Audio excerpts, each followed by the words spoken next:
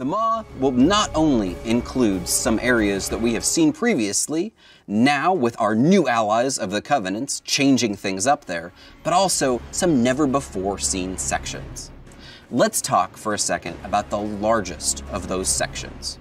So, in the finale of that cinematic, you saw that the jailer had sent his chains off out of the maw and into the darkness. What he found there, that landmass shown there at the very end of that cinematic, is a landmass known as Korthia, and it makes up the largest new section of the Maw. Korthia is an ancient space that was lost in the in between.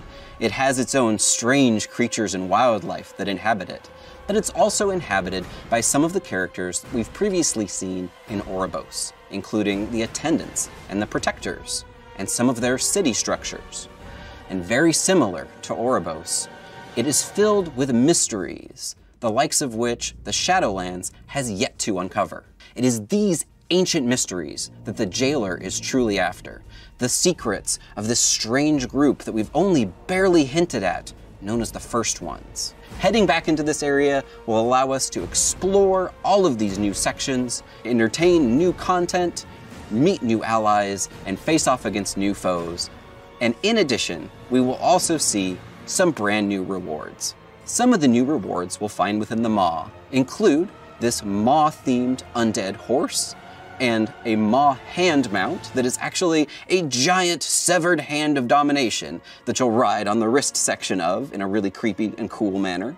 And of course, there will be Maw themed battle pets to collect as well, including your very own minion of domination.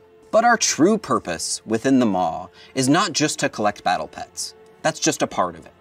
The true purpose of bringing all four of the covenants together within the Maw, of course, is to be taking the attack directly to the jailer's doorstep. The central area where the jailer has holed up with all of his main minions is going to be our focus here as we raid the Sanctum of Domination.